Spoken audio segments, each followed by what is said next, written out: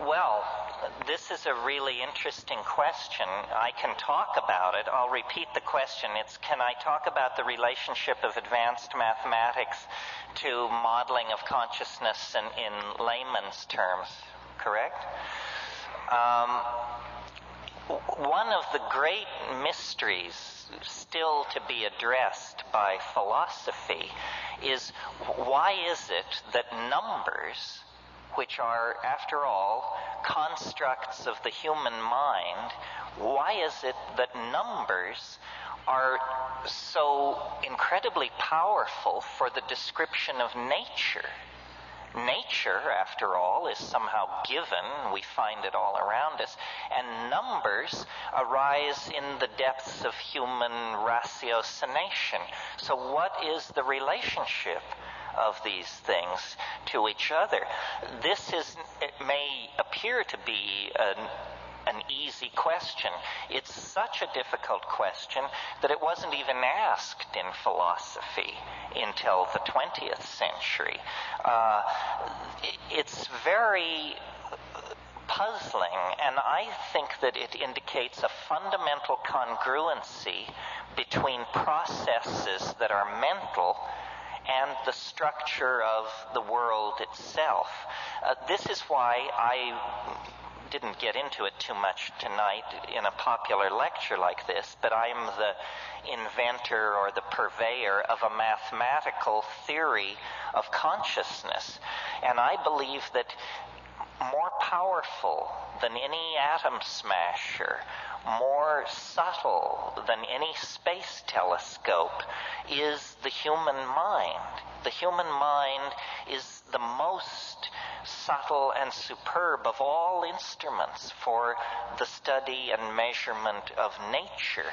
When we look into ourselves, we discover the same patterns that we discover in the birth and death of a species, the flow of a river, the collapse of a corporation, or the flowering of a love affair. It's that process is somehow under the aegis of a kind of universal equation of description.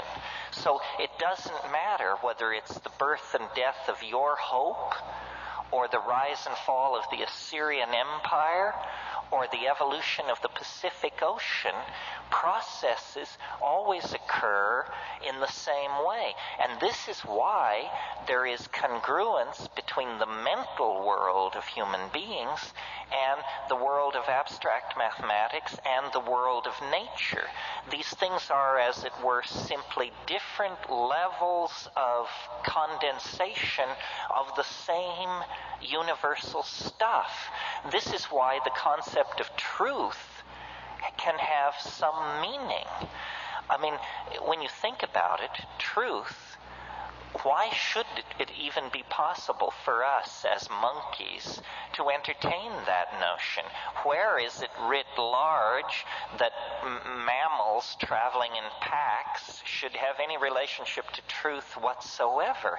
And yet, the faith is that somehow thinking means something. It's not just something we do, it means something. It means something because there is sufficient freedom within the human system to be both right or wrong.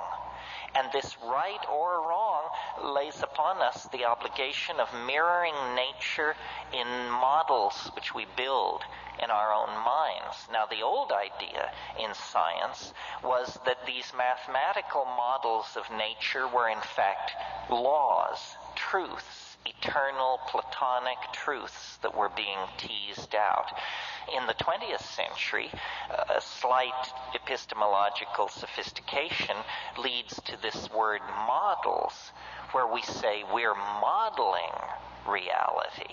Uh, and our model is only as good as we need it to be.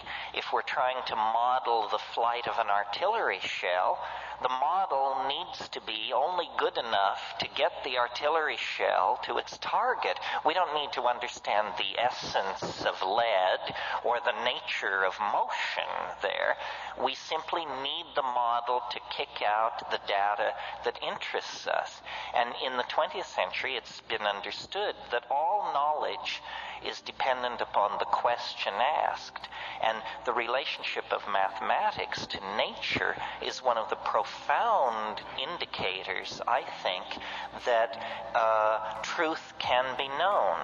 Maybe not the truth, but uh, I always think of the positivist philosopher Wittgenstein, who was once asked in a classroom situation about a certain proposition, is it the truth?